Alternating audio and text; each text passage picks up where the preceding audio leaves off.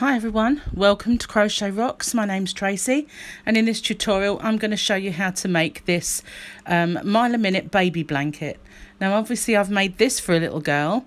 Um, at the moment it's just half the blanket but this is exactly um, half and I'm going to show you um, how to make these um, mile a minute strips and attach them using the crochet as you go method and um, I'm going to just um, do the other half in this tutorial.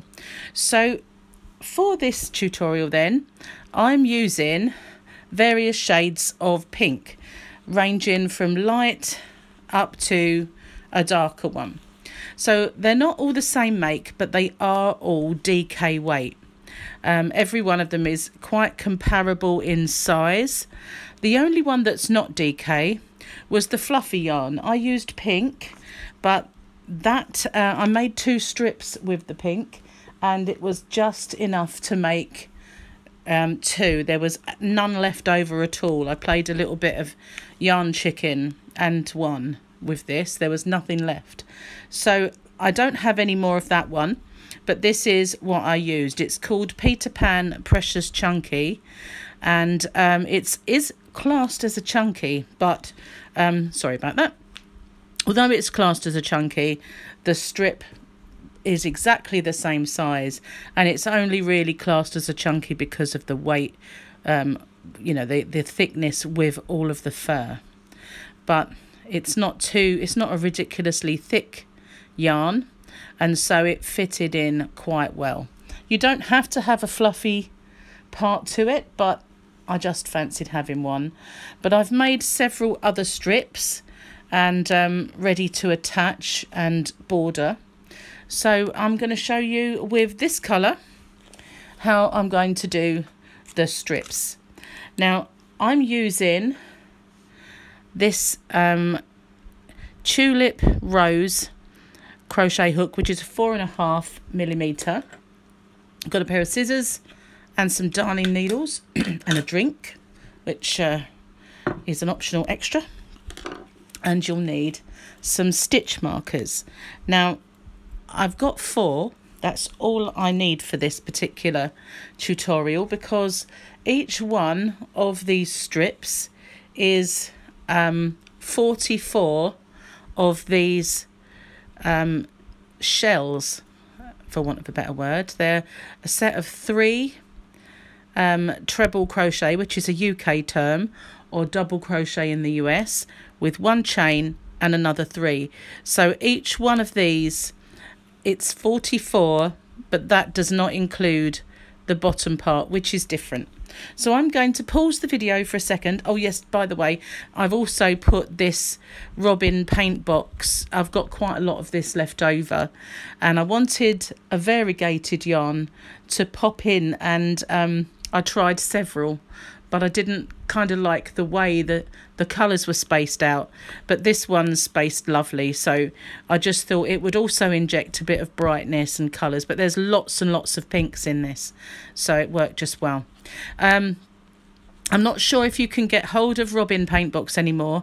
I think since lockdown and the coronavirus, um, Robin has um, had problems and possibly cease trading. But any variegated yarn that you have will do. You don't have to have any variegated at all. You can have just solid colours. So if you haven't already, please don't forget to hit the subscribe button and the notification bell and you'll be informed when there's new videos. But I'm just going to pause the video now, clear this away and get cracking showing you how to do this. Right, so once you've got your chosen colours, now if you've wanted to, you could make this um, in another weight of yarn. You could make this in four weight. Um, I've chosen three because I've got quite a lot of three weight yarn. But if you wanted to make it with four weight, you just need to adjust the crochet hook size that you're using. And um, if you keep to the same amount of segments, then you will just get a slightly larger blanket. So what we're going to do is start with a slip knot and you can make that however you normally would. And once you have, we're going to chain seven. Now the middle chain, I always do slightly tighter than the others because otherwise it can make quite a large hole. I'll show you what I mean. So I'm going to yarn over and pull through once, yarn over, pull through twice, yarn over and pull through three times. So I have three chain. Now this one I'm going to do the same but I'm going to make it a little smaller. And I'm holding on to it and I'm going to do another three. So now I have seven. Now in this one here I'm going to do um, a UK treble crochet which in the US is a double crochet and to do that I'm going to yarn over I'm going to put my hook into that stitch yarn over and pull up a loop. So I have three on my hook. Yarn over, pull through two of them, yarn over and pull through the other two. So now I have my chain, which count as my first treble crochet, and this one, which counts as another. So I'm going to chain one. This is making one of the ends, and as I said, it's going to be different to the rest of it. So now I'm going to yarn over and I'm going to go back into that same stitch and I'm going to do another two of those UK trebles or US doubles. And as you can see, working in this quite a bit does make that hole a little bit bigger, which is why I do that tighter in the first place. Now I'm going to chain one and I'm going to do another set of two.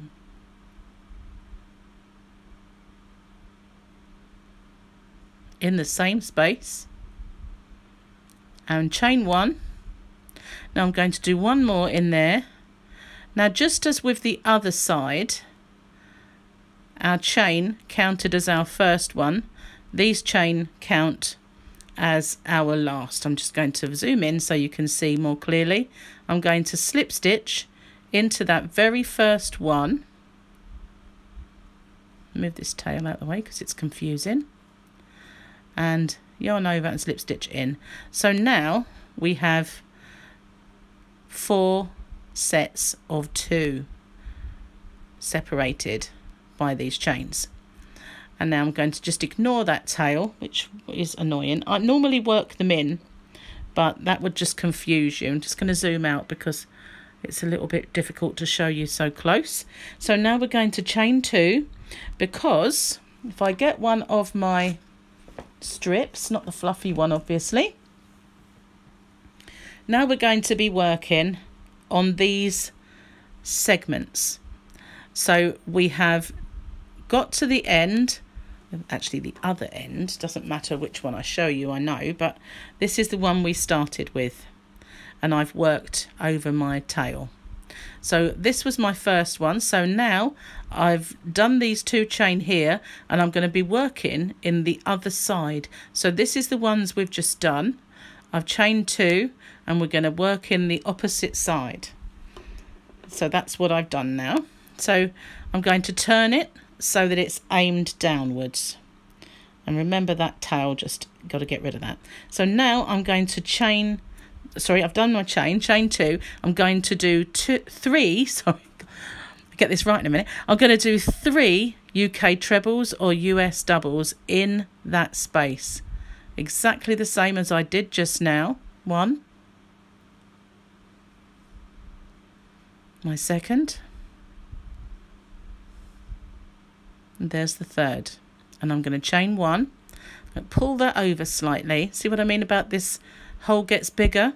Um, that's why I do it smaller so that when it gets bigger it's not huge. So now I'm going to do three more which is the other side of the segment.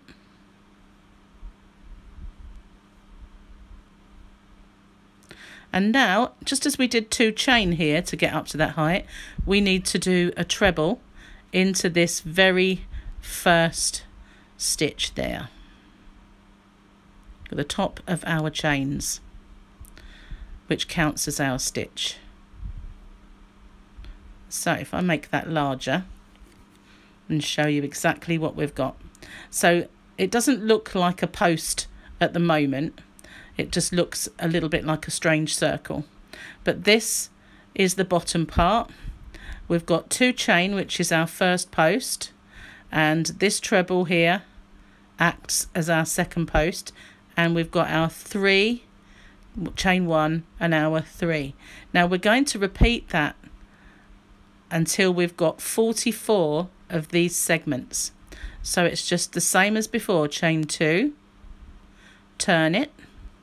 Now in this chain space between our segment we're going to do exactly the same as we just did before where we have three one chain and another three. There's my chain. Three more. If I go too fast then just by all means pause it and catch up. But I feel whenever I show anyone it's best to watch one first. So now here we are. This is our post and this is our our first of our trebles so we're going to do another one in there in that stitch not in the chain. So we're continuing this post. So if you can imagine that these are like um, the tall stitches at the end just um, making our posts either side and then our segments in between so now we've got to the end, we're going to chain two again, turn it round and work into this centre one by doing exactly the same as before.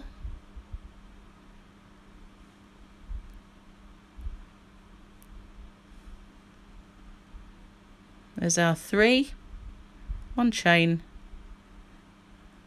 three more, Anytime I'm ahead of you, just pause it and catch up with me. Just need to pull out a bit more yarn. So now here we are again at the end. There's our two chain. This is our last stitch, which would have been the first one on that round. So we're going to go in there and do one UK treble, US double all on its own. And that is how we're going to carry on. You can either turn and do your chain or chain and then turn. It makes no difference as long as you're doing your stitches. You've got three, the one chain, and that's where you're putting them. And we just continue like that until our strip is long enough. And for this particular blanket, I've done, as I say, 44 of these um, segments. So with the two ends, that's 46, but the ends obviously are different. And then I'm going to go into that stitch there, not the chain, and do one more stitch, two chain, and turn. And we're going to carry on like that. Just need to pull out some more yarn. I'll do a few more with you and uh, get you get you started. And now I'm going to go back in there and do my next segment.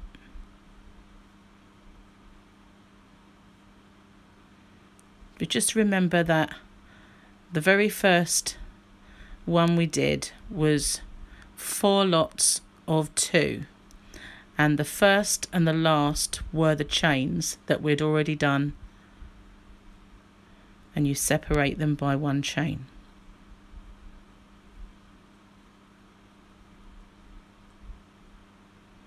Just keep turning and going into that centre.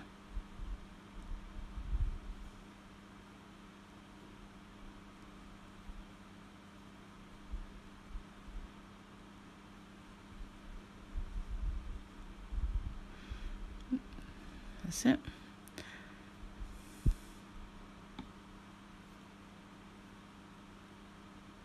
Sorry if I'm going a little faster. There we are. And we just keep doing the same thing. Can be a little monotonous, but it's quite effective.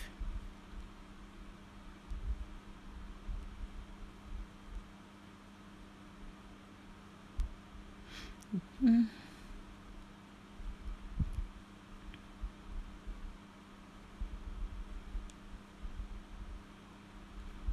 Okay, then you can just see there's our three into the last one. So, what I've done in the past, when, because it's hard to count, what I'll do is I ignore, turn out the right way, I ignore that bit and then I will count one, two, three, four, five, six, seven, eight, nine, ten, and then I place in a stitch marker as I'm going. So once I've done 10, I put in a stitch marker and then I'll do, from there I can count another 10 as I'm going, obviously. Place another stitch marker, do the same, so that when you come to look at it and you think, how many have I done? You haven't got to keep counting. You can say there's 10, 20, 30, 40, and then you know you need four more before you get to the end. So that's what the stitch markers are for, just to um, help you as you go along. When you've got 10, you can pop in a stitch marker. So we'll do a few more. Although I think you've seen by now how you carry on. Just doing this all the way along.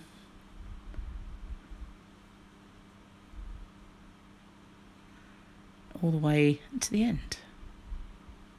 Until you've done 44 or if you want to make this longer you decide how many you want to do. But as long as you start and end with the right side. So this is the back obviously because this is uneven. So when you start and finish they'll both be this way round. So I'm going to pause the video and I'll come back to you when I've done my 44 and show you what we do when we get to the end of the row. Okay, so I've now got, apart from my end, I have 44 of these segments and every 10 that I made, I popped in a stitch marker. So I knew when I got to this one, all I needed was one, two, three, four, and then I was finished my 44. So now I need to make my opposite end. Just going to untangle my yarn a little bit. So now what we do is we turn our work and we'll do our two chain as normal. And then into this one here, we're going to do the exact same as we did on the opposite end. So we're going to do two of our UK treble or US doubles into that centre, one chain, then another two.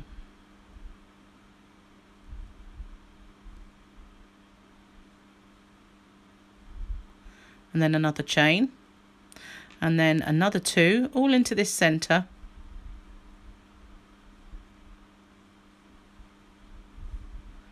One more chain, so we have four altogether, four lots of two. So we need two more in there. And now we need to make this post the other side, just the same as we have been all the way along by doing our last stitch into there. And now we've completed our strip.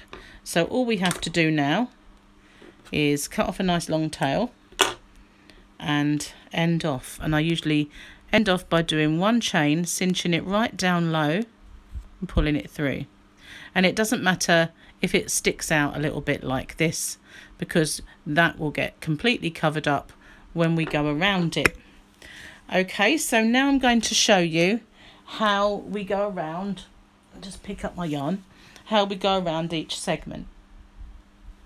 So the first one we will go round the whole thing. So at this point, you will make however many of these strips that you want. Now, for me, on this blanket, I'm going to do exactly the same again. So I've got one, two, three, four, five. So I will have another five strips and I'm going to do two of each colour. So now we get our white yarn just going to pull that out. Okay, just get enough of my white. and I'm going to take out these stitch markers because we don't need them now that was just so that we got the right amount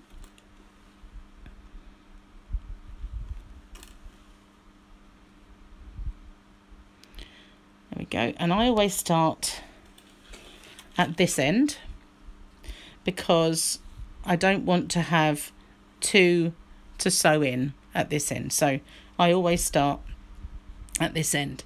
So I can get my crochet hook and um, I start this side because this is the right side. Remember both of our ends will face this way. So what I'm going to do is I'm going to ignore all of this end. So there's the four lots of two there's one two three four so I'm going to start actually it is the one where I ended off never mind it doesn't matter I'll sew both in doesn't matter so I need all of my stitches along this edge. Oh well, I've got two. I've got two joins. That's strange. Never mind. It completely threw me. So I'm going to start here because there's my two, my two, my two, and my two. So this one after the post along this way after my four lots of two. I'm going to join my white into that post to, into the into the space not not to join it to the post so I'm going to pull that through now with my just ignore this tail but with my working yarn and my um, tail I'm just going to do one chain then I'm going to drop that and I'm going to do another chain so now I'm going to do in each of these segments all the way along all of these now we're working into the sides of our segments. I'm going to do three. So those two chains count as the first one. That's the second. And that'll be the third. Push them together because that one looked a little different. So I'm going to pop them down there out of the way because otherwise it will get confusing. So now you can see all of the spaces in between our segments and that's where we're going to do our groups of three. Move those out the way. So not in here, but in this big space. So we're just going to do three in there.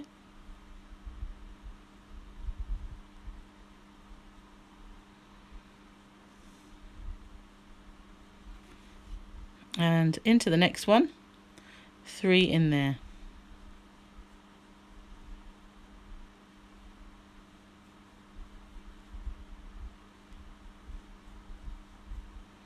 and then into the next one. So basically it's past the segment. Don't get confused with where the segment actually kind of joins. I'm just going to do three in each one of these all the way along. All the way to the end. But with this one, we are going to go all the way around. So just make sure that, as I said, you're not going into this space here, which is part of the segment. You're only going into these large spaces and you're doing your sets of three just like this. So I'm going to pause it and I'm going to go all the way along and I shall catch up with you once again when we get to the end. Right, now I realise that um, I could have done this in two parts. Um, the the actual strips in part one and the the border to them and the join in in part two. And um, I didn't really want to do that. So what I'm going to do is I'm going to timestamp. So if you want to um, you'll be watching this but if you wanted to revisit it and see how to put this first one on and then how to put the joining ones on the timestamps will be in the description box. So we've got to the end and we're back um, around the edge. So this one here as you can see is part of a segment so we'll put our three in there as usual I just wanted to show you the difference. So now we're at the edge. You can see there's our two and another two and another two and our last two. So this is going to square this edge off. So we're going to put three into this space. Some mile a minutes, I just need to pull out some yarn. Some mile a minutes, they don't have a squared off edge. They have a circular or a pointed. But I wanted this one as a baby blanket with a border to have a squared edge. So now I'm going to chain one and do three more in that same space to form a corner.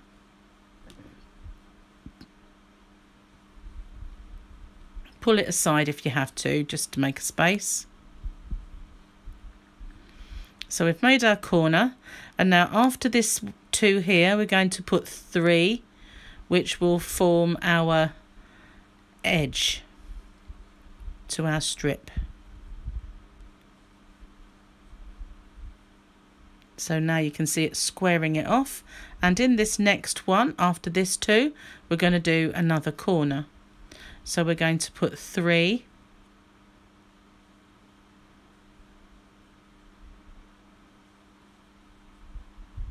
Chain one and three more in the same space. Again, if you have to pull it along slightly, then that's fine.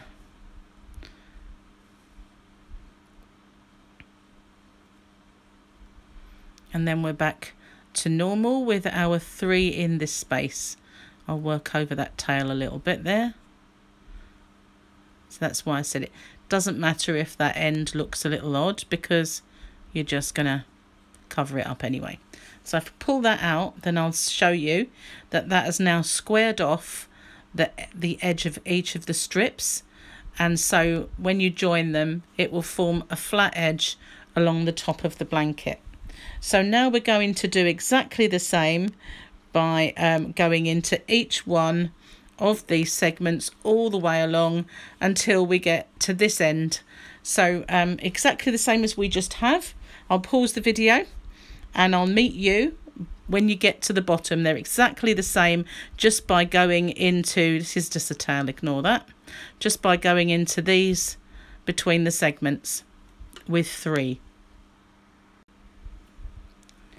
Now we've reached all the way to the end and all that's left is this part. And as you can see, there's the two, four, six, eight separated by the uh, the chain. So in this first one, again, is a corner because we want to square that off. So we're going to do three, one chain and another three in the same space.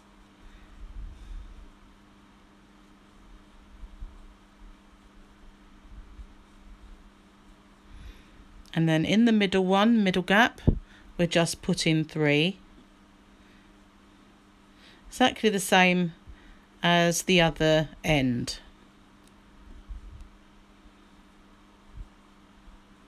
And in this next one the corner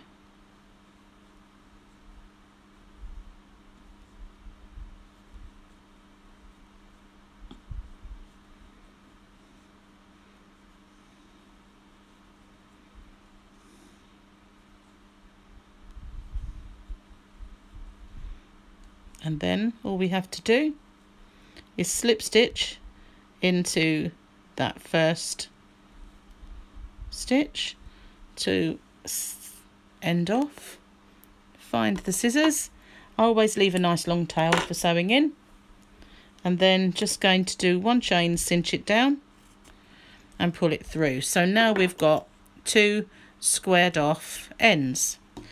So that's how we do the first one so this is the right way around. And as you can see, it's nice and square. So what I do is I will do half again, half, finish one halfway round, and then I will crochet them together. Now, if you didn't want to do that, you could just make them all like this, but it is an awful lot of sewing together all the way along the edges. Plus, it's a little bit vulnerable. Um, I'm I don't know if you've ever had a seam that you've sewed come undone on you, but it can be a little bit vulnerable.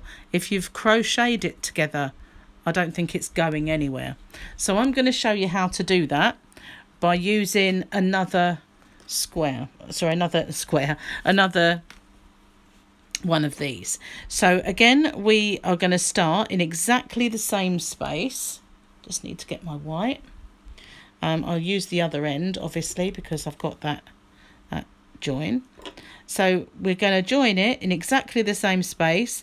There is the four of the end. So I'm going to join it in this one here, the first of the segments.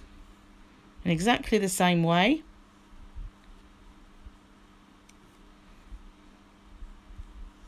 Drop that one. Do my chain and then I'm going to do my first segment by doing another two stitches. And I'm going to go all the way to the end exactly the same as I did before. So I'm going to pause the video because you've seen this part before. I'm going to do three in each of these spaces between the segments all the way to the end and I'll catch up with you once I've done that Okay, so I've made it to the end, just pulling out some yarn. And I've got one more segment to do before I get to my pairs. So there's one more group of three to do in that one there. And now I'm back to the corners. But it's slightly different this time. I'm going to do the first one as normal so I'm going to just do this with three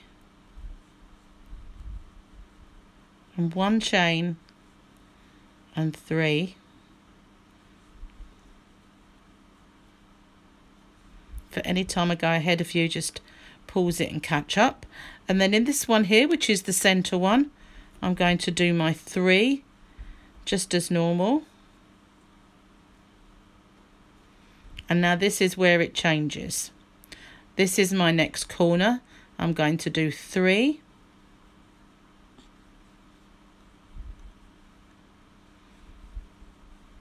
And one chain.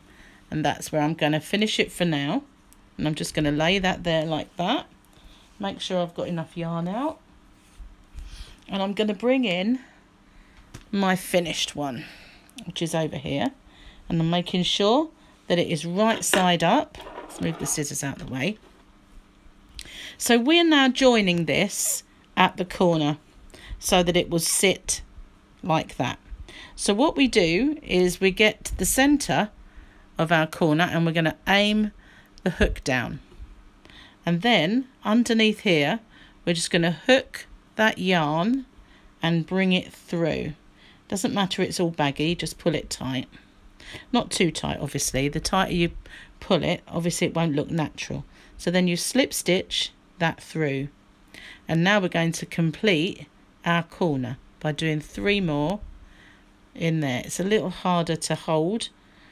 When you're sitting down, maybe um, you can do it at table like this, but I sit on the uh, settee on the sofa and I find it much easier to do this without holding it like this.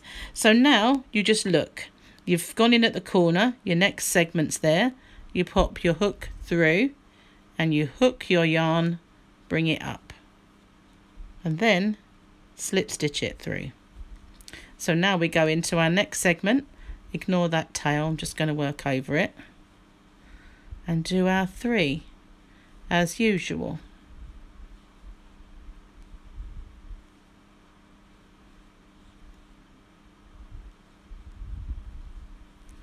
And then you've, you've joined this one. So your next one is here. You're going to aim your hook down. Scoop your yarn back up without letting these be too baggy and pulling through. And then I'm just going to drop that. And just do my three into my next segment. I think I'm working over the tail there. Doesn't matter. I can always pull it out and secure it properly.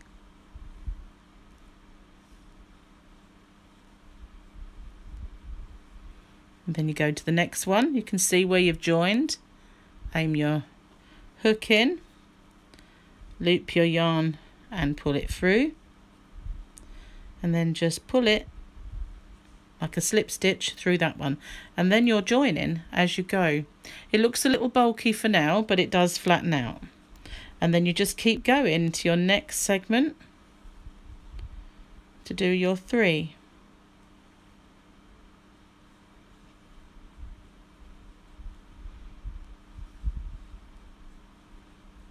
Then you look along, just as you've been doing. Pop your hook down, loop that yarn up, and then pull it through for a slip stitch. Obviously not too tight, otherwise it will pucker. And then not lay naturally flat, not too loose or it will make a yarn bump, which you don't want. So you just want the tension nice and natural as you your tension has been all the way through. Pop it in, loop it up, slip stitch it through, and then straight into the next segment. So it's not difficult, it's just fiddly with um, working the two together. If it's not for you, then you can sew them. But sewing them, as I said, is very tedious and time consuming. And it is well worth learning this little extra skill. So it's ever so easy. Once you get going, it's just the natural way to do it. And you can join other things, not just this.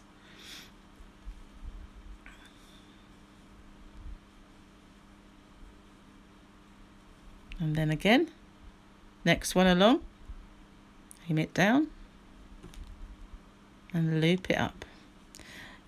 I think there is another way where you can you take your yarn out of your hook and then put your hook in and pull it through but that takes longer and it it this looks just as good to me. So I prefer doing it this way. You don't lose your stitch. It doesn't come unraveled. You've got your hook in at all times next one along and lip it up. So as I said earlier, I did these really parts one and two together, but obviously I know that it takes time to make your strips. And so I will timestamp all these things for you to just find them easily when you need to. If you're holding on to this one, you're not going to have it too loose and just keep going. Exactly the same way all the way along. So I'm going to pause it and I'm going to carry on join in as I go like that until I get to the end and I will show you what we do when we get to the bottom. But once you once you've done it, it will flatten out nicely. So I'm going to pause it now and catch up with you at the end of this strip. Okay, so I've made it all the way to the end and I've done my three in my last segment before my corner. So just as we joined the corner at that end, we're going to do exactly the same at this end. So we are going to, whoops daisy, that's right, and we're going into there Sorry about that. I noticed that I'd gone wrong. I'd missed a segment out. And uh, I know exactly what happened. My cat was playing with my yarn ball. And as I was trying to scush her away without knocking everything over, I managed to go in the wrong segment. So uh, I put that right. So now, as I said, we are back at the corner. So this here, these are, this is our last segment. And we're now, we've got two, and 4 and 6 and 8. So this is back where we should be. So once we've attached our last segment, we'll go into this one as normal and do our first three. I wondered what on earth I'd done wrong then because I'd counted them all. But um, note to self, put the cat away. So now where we go is into the centre of our corner and then loop our yarn up and pull it through and do our slip stitch And now we finish off our corner by going in the same one and doing our doing our three. Sorry, I'm deviated from the uh, the path then. I moved it. So now we've done our corner. I'm going to show you that one more time just in case I wasn't in the dead centre and um, I don't want that anything to go wrong with that. So we've finished our last segments and we'll do our three in our first part. So there's our our doubles. There's two there, two there, two there, and two there. So we'll do three. Why am I? It's tending to travel. Let's go back. There we are. So yeah, we're going to do, I'll do it one more time with you just because that was a bit confusing. So that's where we left off. And these are our ends. We've got these four pairs. And so the first one is our first corner. So we'll do our first three in there. I made sure the cat isn't here. She's uh, hiding under the bed now. And so we're going to put our hook dead center into the corner. There's our first three, one chain, first three. So we're just going to pop our hook in. Now it doesn't matter if you do your chain before or after your join. So I'm going to do it after. And then I'm going to put my three into the same spot to finish that corner off.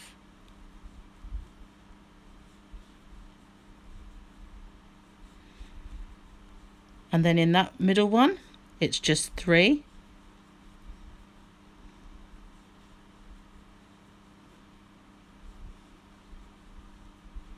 And then this one is a full corner. Just the same as before.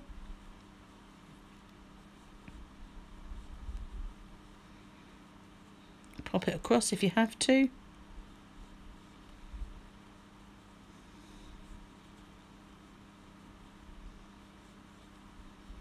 and then we just join it by slip stitching into that first stitch which is the two chain and then we'd end off. And then we have joined both ends of our blanket. And that's I'm sorry it got a little confusing there at the end but I really thought that I, had done something wrong there and I, I couldn't figure out because I knew I'd counted them and put my stitch markers in and it was all all the right amount. And uh, but when I looked I'd managed to and it's easily done it's easily done. Instead of putting my hook through and picking up I went into the next one. So it bunched up two together like that. Once I figured out what I'd done I was it was only about here that I managed to go back quite easy and put it right. But that's how we do both ends of our joining as we go. We just loop loop at the corner there. So now all you need to do is make your strips, edge your first one completely round and then all the subsequent ones we start at the same spot, go all the way uh, around to this point and then join at the corner and go all the way back. So simple really. I will put in um, I'll put in some timestamps for all those things and I'll list them in the description box. So that's the end of this particular video. I'm going to leave you then to make your blanket. You can choose whichever colours that you want. I know you won't probably get the same yarn as me in any case, but these are the colours that I've been making mine with. And um, the fluffy one which run out. So there it is. But you don't have to include a fluffy one if you don't want to. It is quite difficult to see where you're stitching. I did it by feel and just by experience, really knowing where to put it.